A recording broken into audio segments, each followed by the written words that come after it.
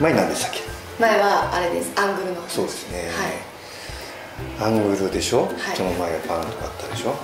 一つ抜けてるのが、はいズームの話をしてない、うーん。はい。でズームっていうのはまあカメラもねビデオカメラと、まあ、一眼動画とあってまあ基本的には映るんだけど、一眼動画の場合はズームレンズっていうのはあんまりついてないっていうかズームしにくいんでまあやらない方にビデオカメラの場合はこうこう押すとすぐそうですね。でズームって下手するとよく多用しちゃう人がいるね寄ったり引いたり寄ったり引いたり、ううんパパママカメラってみんなそうじゃん関係なしに寄ったりしてーん。うん。あれは見にくいからやめてくださいああ、あんまりズーム意味がないだけじゃなくてうんはこれはさっき言ったアングルと同じようにズームにはまた意味がない、い。意味があるんですね。めちゃくちゃ意味があるうん。で味、うん、あのパンは位置関係言はい。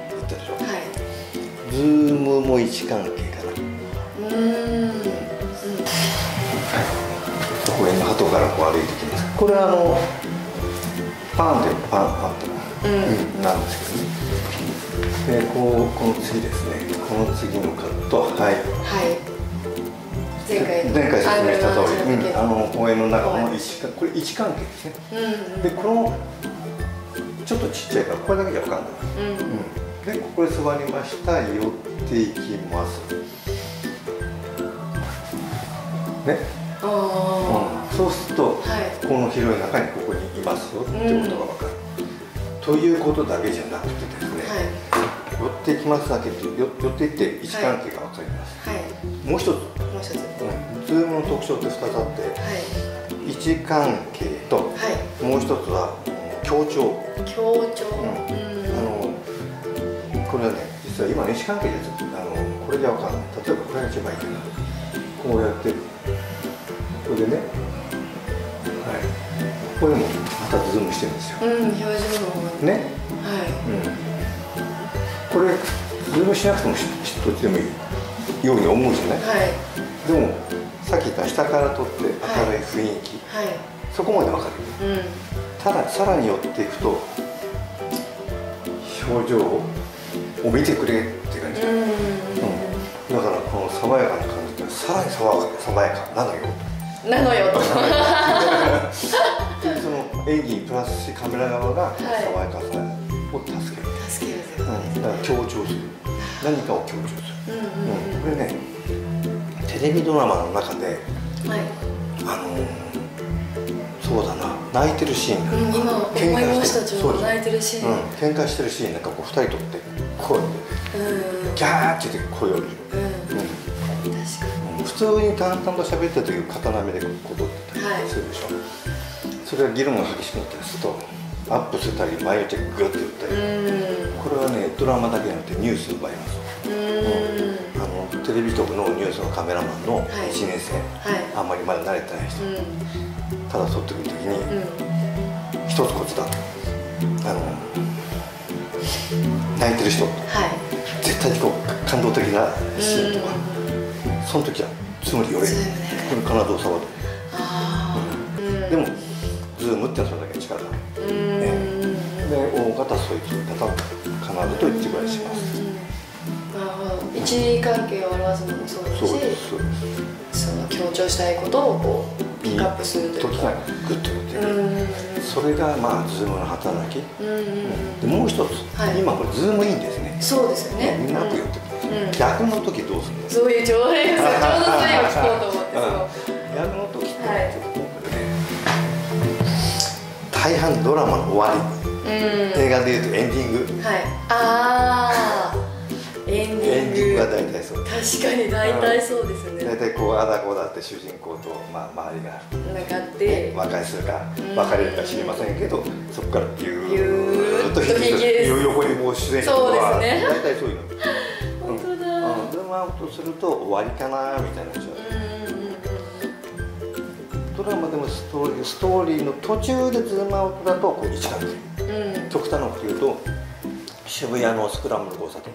はいあそこの歩いてるビルの上からね、はい。歩いてる人を撮ってこう引っ張ってくると歩いてるそこを歩いてるのかちょっと、うん。うん。逆に寄ってっても分かるんだけどこれ2つあってじゃあスクランブル交差点を歩いてるとこ、はい、寄っていくってことはそこからストーリー始まっちゃうわけですね、そうじゃなくて2人あの歩いてるところから引くと渋谷にいるよっていうだけの話うん確かに、うん、それで次の展開が決ま本当ですね、うん、じゃあズームアウトというかこう引く時はなんていうか場面の転換じゃないですけどちょっと切り替わるそうそうその通りよくわかりますね。感じですね。そう引きました。で渋谷の今までの流れはここで終わり、はい、で数日後はね、みたいな、そういう世界でこうやってうん、どっちかというと寄っていく時は始まり始まり。ですね、えー、みたいな。確かに確かに。だそうやってズームのやり方が現場でズームインしようかアウトにしようかって結構悩むうん、そうやって言われるよね。確かに。最近のね若いディレクターはですね、はい、あんまり考えない人多くて両方と 両方と両方取って後で考えるってそれだって言ったらダメです。ダメですか？両方取るのは結構だけど、はい、大体その場で考えつかない人編集したって考えられるああまあ経験もありますし、ね、まあ結構だからそれと、まあ、日本ってアングルと組み合わせるといろんな意味を持ってくるんですねそうですよね。伝えたいメッセージをより伝えやすくするとしたらそういう技術も知っておいた方がでもう一つはい。もう一つおまけ。おまけを。今ズームでズームって寄っていきますよね。はい。今さっきの例えばあなたが食べてるとこはい。寄っていく、はい、ズームで寄るのともう一つズームをしないで寄っていくとどう違うかってうん、しないでってことですよね。カメラを移動させる。同じアップに寄っていくのグーって寄っていくのとズームでお顔に寄っていく。どう違うんでしょうか。ああ確かに同じ最後アップ例えばここからここに向けていく、うん、ね。ズームレンズで寄っていく。まあ普通ですね、はい。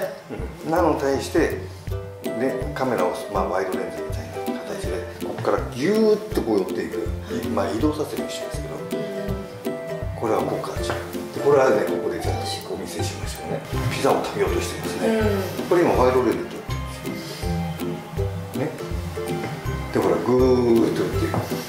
うんズームじゃない。これはカメラを寄せてったってことですね。